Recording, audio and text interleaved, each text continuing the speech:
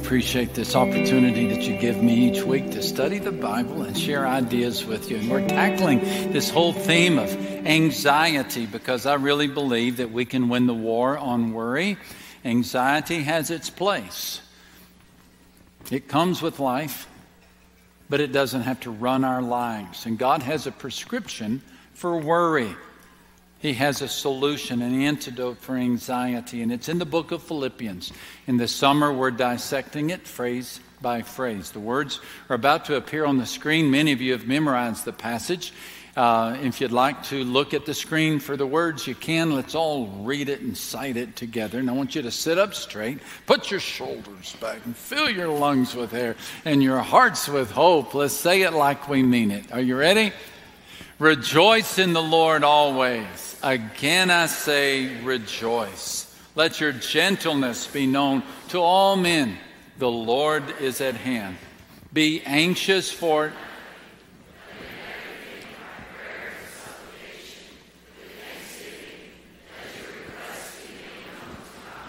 and the peace of God will guard your hearts. Finally, brethren,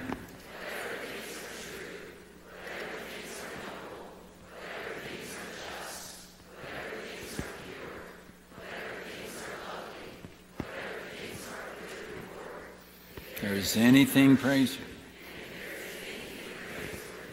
meditate on these things. Yes, Lord, grant that we could do just this. Would you please take the anxiety out, replace it, Lord, with meditation on good things? We, pr- we would request this peace that passes understanding. We lift up to you all of our requests, but we do so with thanksgiving and gratitude for all the good that you have done for us. Forgive our speaker today. His sins are many. Help us to see Christ, just Christ. Through Christ we pray. And all the church said, you might consider adding to your summer reading a wonderful book that just came out. It's called Called for Life, authored by Kent and Amber Brantly. You may remember their story this time last year. Dr. Brantly's name was in the news. In fact, it was on Wednesday evening, July 23rd, 2014, that Dr. Brantly took a seat on his couch and he opened his journal and he needed to collect his thoughts because he had spent the day feeling the effects of an illness that he knew would either be malaria or Ebola. And he was praying for malaria. He was a medical missionary in Liberia, waging a war on the cruelest of viruses, Ebola. There was no sure cure. The epidemic was killing people by the thousands. And as much as any person in the world, Dr. Brantly knew the consequences of the disease. He had treated dozens and dozens of cases. He knew the symptoms, the soaring fevers, the severe diarrhea, the nausea, he had seen the results of the virus, and yet, for the first time, he was feeling them himself. His colleagues had drawn blood and begun the tests, yet it would be three days before anyone knew the results. Dr. Brantly quarantined himself in his cinder block house and he waited. His wife and family were across the ocean. His colleagues were not permitted to enter the residence. He was quite literally alone with his thoughts. And in that moment, he opened his Bible and he found a passage from the book of Hebrews and began to meditate on it. The passage reads The promise of entering his rest still stands, so let us never give up. Let us therefore make every effort to enter that rest. Brantly called to mind the phrase, make every effort, and he circled it and decided, now that's exactly what I'm going to have to do. He kept reading. He paused in Hebrews chapter 4 and verse 16. Let us then approach the throne of grace with confidence so that we may receive mercy and grace to help us in our time of need. He wrote the verse word for word in his journal. And when he came to the word confidence, he wrote it in italics. Then he closed the journal and waited. The next three days brought, brought unspeakable discomfort and then brought the news that they feared he had indeed contracted Ebola. Amber, Kent's wife, was across the ocean in her hometown of Abilene, Texas. She called, she received a call from Kent the following Saturday afternoon. When the phone rang, she stepped into her bedroom to receive it. She was actually at her parents' house, so she stepped into her former bedroom. And there, Kent went straight to the point. Over the phone, he said, The test results came back. It is positive. She began to cry, and they talked for a few moments until Kent said he was too tired to talk anymore, but he would call soon. Now it was up to Amber to process the news. She told her parents. The three sat on the edge of her bed and they wept for several minutes. After some time, Amber excused herself and she went outside. And she walked across a large field toward a mesquite tree that had a low hanging branch. She sat on the branch. She tried to pray, but she, could, she found it difficult to put her concerns in words. So she began to sing hymns that she had learned as a young girl. She sang, There is no shadow of turning with thee. Thou changest not, thy compassions they fail not. As thou hast been, thou forever will be. That lifted her spirits, and so she sang even louder. I need thee every hour, in joy or pain. Come quickly and abide, or life is in vain. I need thee. Oh, I need thee. Every hour I need thee. Come and bless me now, my Savior. I come to thee. She later wrote these words I thought my husband was going to die. I was in pain. I was afraid. Yet through those hymns, I was able to connect with God in a meaningful way. Maybe you remember this story. Maybe you remember watching the news reports of the Brantly family unfold. Maybe you remember the decision of the caregivers to give an untested treatment to Kent because they had no other option. Maybe you remember watching his transport from Africa to Atlanta, watching him as he climbed out of the back of the van and was carefully walked into the hospital. We celebrated the news of his improved condition and then we thank God when we heard the news that Kent was cured of Ebola. But you know what? I think we can celebrate the curing of yet another disease, a virus that is every bit as contagious and every bit as deadly the unseen virus of anxiety. Kent and Amber were prime candidates for worry. Yet they reacted to the presence of anxiety with the same deliberate resolve that they reacted to the presence of the Ebola virus. They went on the offensive. They took control of their thoughts. Kent opened his Bible. Amber opened her heart. They pondered scriptures. They meditated on hymns. Before anxiety to, could get a hold of them, they got a hold of the anxiety and they marched it out. They did exactly what the apostle prescribed in Philippians chapter 4 and verse 8. Finally, brethren, whatever things are true, whatever things are noble, whatever things are just, whatever things are pure, whatever things are lovely, whatever things are of good report, if there is any virtue, if there is anything praiseworthy, meditate on these things. If the Bible has a recommended diet for the mind, this is it. These are the green vegetables for the soul. My wife, Denalyn, likes green vegetables. I don't, but she does. And she has a list of vegetables that are good for the body. It includes things like broccoli and asparagus and lettuce. As I read over the list, I don't see anything that I think is a health food donuts and barbecue potato chips and Oreo cookies and ice cream. But I don't ask why. I know the answer. I've heard all the slogans. What tastes good on the lips does not look good on the. How did you know that already? If you want to feel good tomorrow, then eat good today. These are principles of a healthy diet, but they are also principles of a healthy mind. It is good to be a picky eater. It's equally good to be a picky thinker. And the Apostle Paul sets himself up here as our thought dietitian because just as not every food qualifies to be eaten, not every thought qualifies to be thought. It must meet a standard. And he gives us the nine standards. First of all, it must be true. It must be based on God's word. It must align itself with Scripture. It must be noble. The word here means worthy of respect. Boy, that eliminates everything that's immoral or, or inappropriate. It must be just.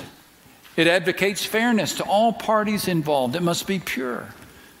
This is a call for high and lofty thoughts. It must be lovely. Lovely thoughts focus on whatever beauty can be found in any situation. It must be of good report. No need for slander or gossip. It must be of good report. It must be of good virtue. It must be praiseworthy. So we welcome any ideas that promote the best of life, high ethics, lofty goodness. We meditate on these things. And as we turn our thoughts toward these things, a wonderful thing happens. We turn our backs on their opposites. As we fill our minds with veggies, we avoid a junk food diet of deceit, unsavory thoughts, ugly thoughts, dishonest thoughts, where you tend to rose, a thistle cannot grow. We focus our thoughts on good things so the weedy thoughts do not have room. So, just as some people are picky eaters, we choose on purpose to be picky thinkers. The big idea in this passage is simply this meditate on good things. Meditate on good things. You want to treat anxiety? Turn your thoughts toward good things. This word in Greek, as you know, the Bible was written in, New Testament was written in Greek. This word in Greek is a great word. Look at it. Logizomai, meditate. Logizomai. Do you see an English word, the roots of an English word inside that? Anyone? Logic. Logic. We meditate on good things. We treat our anxiety with logical thinking, with clear thinking, with rational thinking. Easier said than done. The consequence of anxiety for many is muddled or unclear thinking if we think at all. In July 1943, a British Army officer by the name of Lionel Wigram studied the reaction of soldiers to intense battle. He noted a predictable pattern.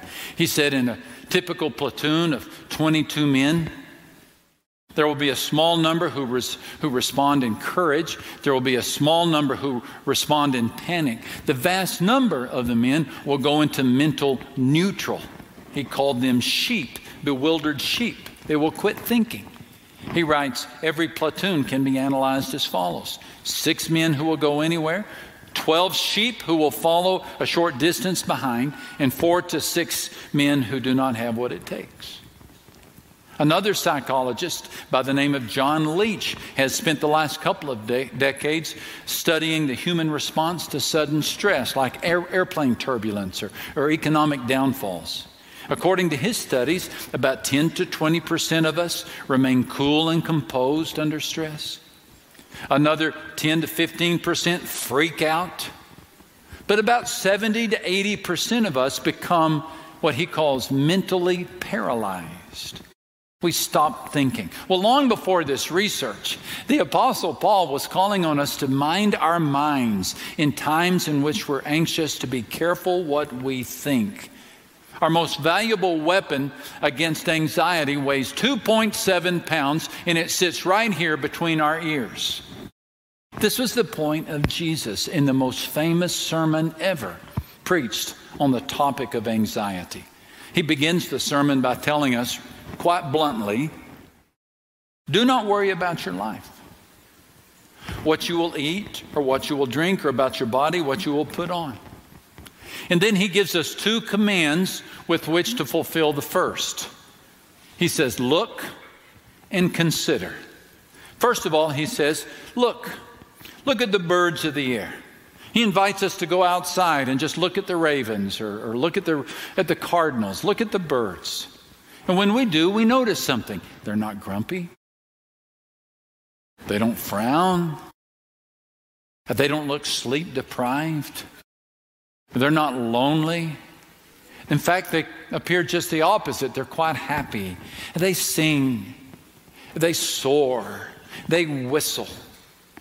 And then Jesus says, they don't sow or gather into barns. In other words, they don't work, they don't save money, uh, they, they, they don't get stressed out in occupations, but they look happy. And then he tells us to lower our gaze from the birds and look out over the valley. He says, Consider what? The lilies. Consider the lilies. Remember, he's helping us treat anxiety. So he tells us to look at the birds and now consider the lilies. Same point. They don't look unhappy. They really are very beautiful. In fact, Jesus says even though their lifespan is short, they're here today and tomorrow they're going to be thrown into the fire. Even Solomon in all of his glory was not dressed up like one of these. He's the richest king in history. And a field of lilies is prettier than he was. The point? We disarm anxiety by looking and by considering, by thinking, by processing. We look at the birds, we look at the lilies. We don't get lost in our negative downward spiral of thoughts, nor do we get frozen in no thinking. We stop, we collect ourselves, we look at the birds, we consider the lilies, we manage anxiety by managing our thoughts. We manage anxiety by managing our thoughts. Now, maybe you wanted something that was a little more mystical, a little more supernatural, a little more angelic, maybe some heavenly visitations or chariots of fire. Maybe you thought that God treated anxiety through these supernatural visions. Paul and Jesus would tell you otherwise. The key to peace is not in the emotion you feel, but in the thoughts you think. The key to peace is not in the emotions you feel, but in the thoughts you think. Do you want to feel peace tomorrow? Then think godly thoughts today. Meditate on good things. Years, and, years ago, a renowned British pastor by the name of D. Martyn Lloyd-Jones wrote these words about the passage in Matthew chapter 6 that we just looked at. Faith, according to our Lord's teaching in this paragraph, is primarily thinking. And the whole trouble with a man of little faith is that he forgets to think. He allows circumstances to bludgeon him. The way to avoid that, according to our Lord, is to think, to look at the birds, to think about them, to draw your deductions, to look at the grass, at the lilies of the field, consider them. The trouble with a person of little faith is that instead of controlling his own thought, his thought is being controlled by something else and he goes round and round in circles. This is the essence of worry. That is not thought. That is the absence of thought. That is a failure to think. Paul elsewhere said, Can set your mind on things above, not on things of the earth. There is a time in which we intentionally and deliberately set our mind on things above. That's what Kent Brantly did when he was about to spend three days waiting on the results from the Ebola test, he set his mind on things above. That's what his wife Amber did when she got news of her husband's positive diagnosis. Uh, she didn't panic. It was not easy, but she did deliberate things. She took deliberate steps to set her mind on good things. I did something like this once. I, it, and it had to do with a little lemon and a little phrase that was written on the lemon that I had attached to the dashboard of my car. One of the most difficult days of my life happened when I was 19 years old. And I was in a town called Dalton in the state of Georgia. I had never been to Dalton. I didn't know anyone in Georgia. And I wondered what in the world had happened. I was 19 years of age. This was the summer of my first year in college. I found myself sleeping in the Salvation Army because it was cheap. And the night before, a person who had had too much to drink rolled over in his bunk up above mine and vomited right down on the floor. I was so homesick. If homesickness was water, I was soaked. What had I gotten myself into? Well, on the promise of some fast cash, and some new sites, I had joined up with two buddies and signed on to sell books door to door. We went to sales school. My friends went home during sales school, left me to go to Georgia all by myself. I went to the field after sales school, and the first day I discovered something people don't like door to door salesmen. they don't. Not even when they're a nice kid from West Texas. That first day was terrible. Hello, I'm Max. Slam. Uh, hello, I'm Max. Slam. Hello, I'm Max. Slam. The second day was just as bad. I didn't know if I was going to make it. I couldn't envision going through a whole summer like that. So I ended up at that diner for lunch and I ordered a hamburger and I treated my bruised ego. And as I was paying for my burger, checking out at the cash register, I noticed that to the right of the cash register, there was this display. And upon this display was a collection of rubberized, magnetized truisms. The kind that you stick on a refrigerator door. Do you know what I'm talking about? little statements. And there was one of them that was shaped like a lemon. And on that rubberized lemon, these words appeared. I bet you know what I'm about to say. When life gives you a lemon, make make lemonade. Well, it's old, it's a shop worn, it's corny, but I'd never heard that before. And that was exactly what I needed. That little slogan told me that my problem was not my problems, my problem was the way I was looking at my problems. And it was just enough to convince me to stay on the job. I bought that little thing and I took it out to my Plymouth Duster. My Plymouth Duster had a metal strip on the dashboard, and I stuck that magnetized lemon on that metal strip. And every day, at least a dozen times, I would reach up and I'd rub my thumb across that, and I'd think, okay. I, I can either be miserable or I can make some lemonade. I survived the summer. That's been 40 years. Much has happened. Much has changed. But, friends, this much has not. Life still gives lemons. It does. And my prospects of a miserable summer are nothing compared to the lemons that some of you have received. Just a few days ago, I found myself in a conversation with an elderly lady whose husband has been diagnosed with dementia. And she's going to have to tell him he can no longer drive. And she was telling me how she was going to have to take the car keys away. Life has given her a lemon. I found myself in a conversation with a young mom. She already has one child and now she has a newborn, and it seems like she can't remember the last time she had a good night's sleep. And she's really worried if she'll be a good parent. I had lunch not too long ago with a fella who's trying to get through a very, very difficult divorce. He underestimated the damage it would do. And he's worried about his kids. He's worried about himself if he'll ever be happy again. Life gives lemons, doesn't it? Has life given you a lemon lately?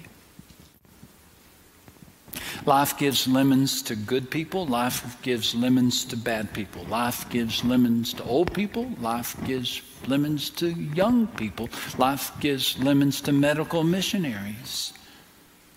Life comes with lemons, but we don't have to suck on them.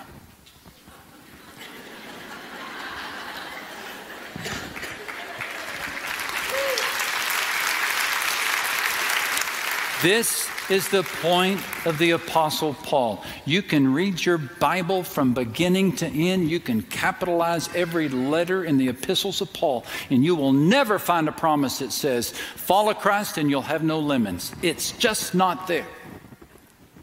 But there is this promise that when life gives you a lemon, God will show you how to respond to it, how to handle it. When life gives you a bucket full of anxiety, Christ will show you a way to respond to that anxiety so that that anxiety does not get to you. This is the promise that God gives that you can cast all your cares upon Him because He cares about you that you can be anxious for nothing, but in everything by prayer and supplication. You can make your requests known to God. Life comes with a bushel full of lemons, but if you're sucking on them, they're going to make you sour. But you can respond to them in a better way. Meditate on good things. The passage, one more time. Read it out loud with me as the words appear on the screen.